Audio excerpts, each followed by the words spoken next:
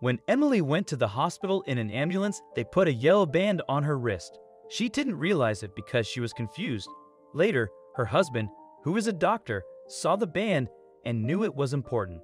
He called the police right away. When the police came, the hospital staff didn't want to let them in. They thought it was going too far. Emily's husband didn't care about breaking the rules because he wanted to know the truth about his wife. Finally, the hospital let Emily's husband, Michael, see her.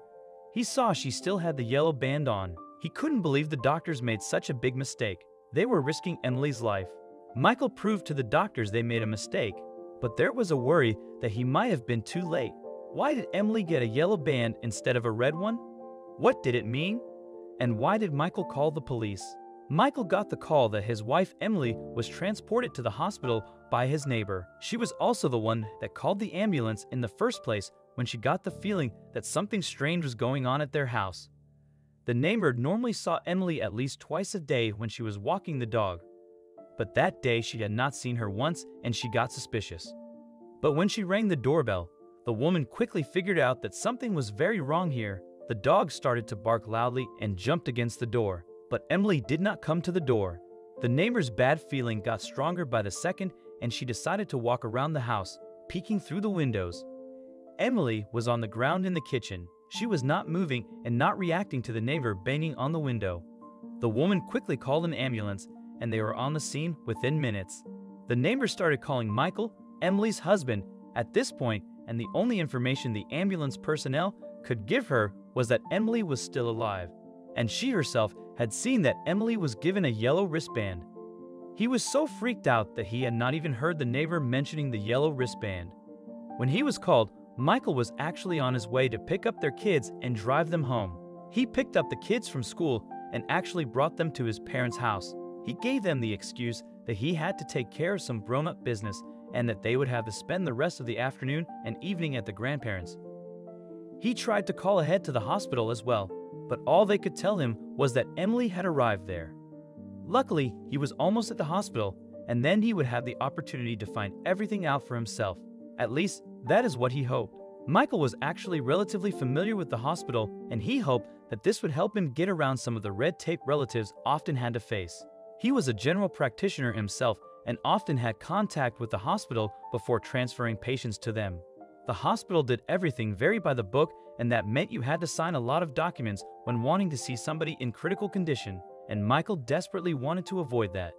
Michael was happy that he seemed like his reputation seemed to help him here. At least, that is what he thought. He had to wait in the room for a little bit, which gave him time to think about the situation, and he suddenly remembered a detail from the call with the neighbor. He was unsure if he had even heard it correctly, but he believed that she had said something to him about a yellow wristband. Normally, patients who were admitted like that would get a red wristband. He had seen it a lot with patients that he directed to the hospital. When he went to visit them, they would nearly always wear a red wristband.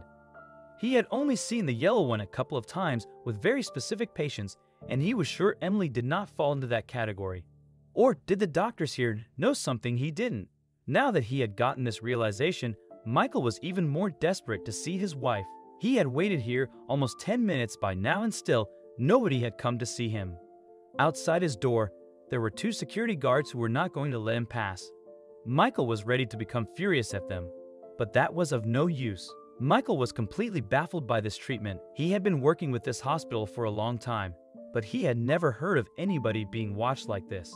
He was on the phone with the police quickly, and Michael managed to convince them to send a squad car out.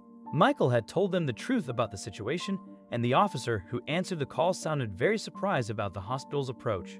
He started shouting out of the window as hard as he could that they needed to help him.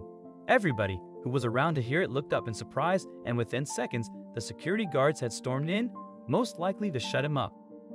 They knew that the police had seen and heard Michael, and they were going to have to answer them. But it was not like they knew anything about the situation, as the security guards were just sent here to make sure that Michael did not leave. The officers were already talking to somebody that Michael immediately recognized as one of the directors of the hospital and a head doctor that Michael had to deal with by far the most when he directed patients to this hospital. One of the officers asked Michael to give his account of the situation. He was a bit reluctant at first as he just wanted to see his wife as soon as possible, but the officers insisted. The officer ordered that Michael be brought to his wife and a nurse immediately came over to assist. Michael apparently thought that the hospital staff liked him a lot more than they actually did. They did not like him at all, and you could even say they hated him. In their eyes, he was a useless middleman that just cost them money. If he did not exist, patients would just come directly to them for help. This was also the reason that the hospital was not that eager to help Michael avoid standard procedures. Apparently, it had nothing to do with Michael's knowledge about the hospital and the yellow and red wristbands. The officers had asked the directors about that as well, and they just raised an eyebrow at them. They had no idea what wristband Emily was wearing, and they failed to see the relevance of this as well. Michael had a lot of things to work out with the hospital, and that much was very clear to him. But all of that had to wait as the health of his wife very much had priority here. By now, the nurse had brought them to the room his wife was supposedly waiting in. When Michael opened up the door, tears immediately came to his eyes. There was his wife, Emily, peacefully sleeping in bed, not looking all too elegant, but that was Emily down.